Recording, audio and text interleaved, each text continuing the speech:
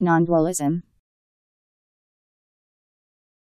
The belief that dualism or dichotomy are illusory phenomena, that things such as mind and body may remain distinct while not actually being separate. N O N D U A L I S M. Non-dualism.